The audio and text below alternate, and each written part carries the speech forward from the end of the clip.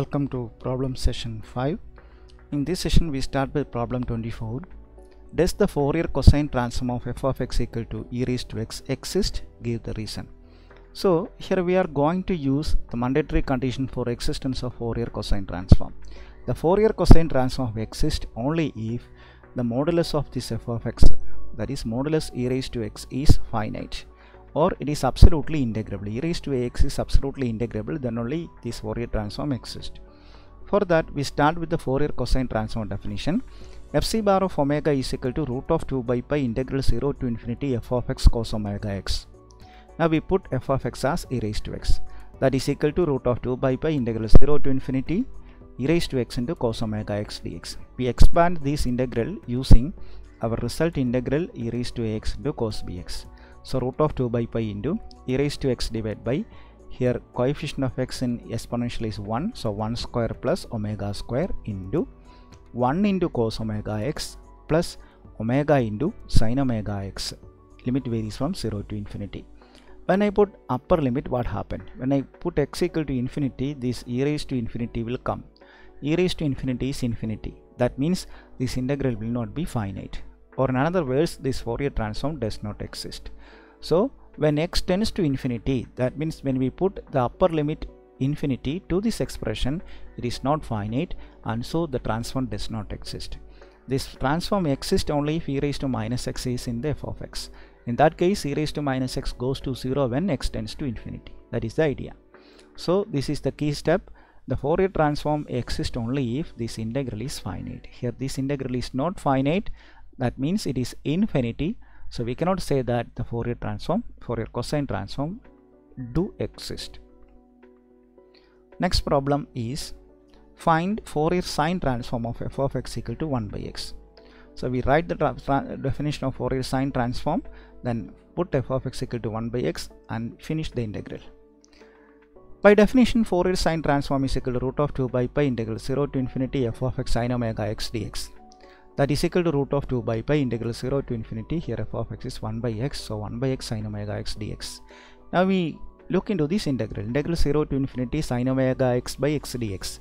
Integral 0 to infinity sin a t by t dt is equal to pi by 2 we use that result directly here. So we got root of pi by 2 this integral is evaluated using this uh, standard on result integral 0 to infinity sin a t by t dt is equal to pi by 2 we have already verified this result in Laplace transform and Fourier transform.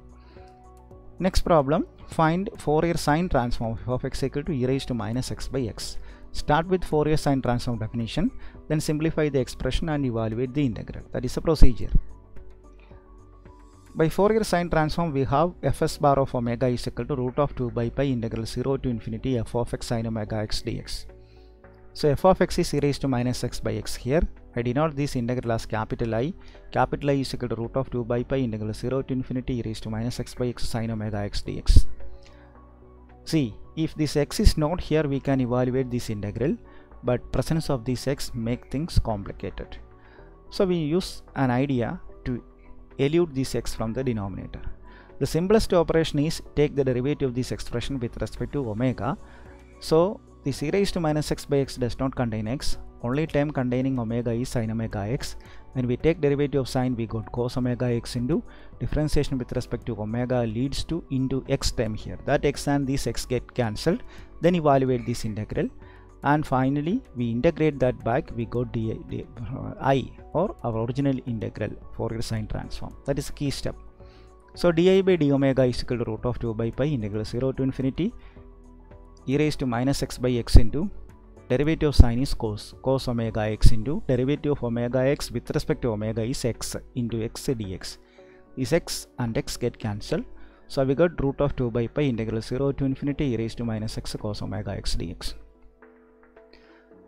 Now we can evaluate this integral. So root of 2 by pi e raised to minus x divided by minus 1 square plus omega square. That is 1 plus omega square.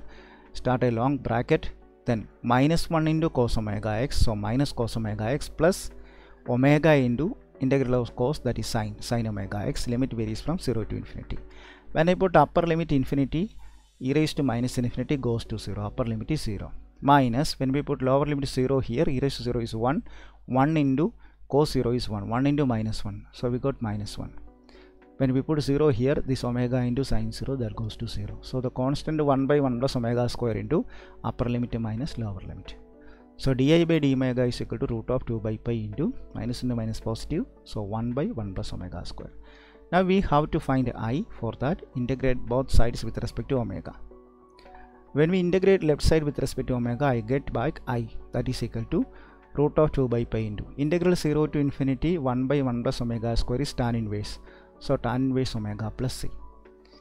Now we have to find this uh, constant of integration c using initial condition. But when we put omega is equal to 0 fs bar of omega is equal to 0 because we write down fs bar of omega as root of 2 by pi integral 0 to infinity f of x sin omega x dx. When I put omega equal to 0 here sine omega x that is sine 0 goes to 0 so fs bar of omega becomes 0 I use that condition here so left side is 0 now I put omega is equal to 0 here. Tan inverse 0 is again 0 so 0 is equal to 0 plus c. 0 is equal to 0 plus c. That means c is equal to 0 hence fs bar of omega is equal to this i. That is root of 2 by pi into tan inverse omega plus 0 how we get answer. Fs bar of omega is equal to root of 2 by pi tan inverse omega. Next as a remark if f of x equal to e raised to minus ax by x then fs bar of omega has some change. That change is here. A is replaced by here this a is replaced by minus a and x there is no replacement happen.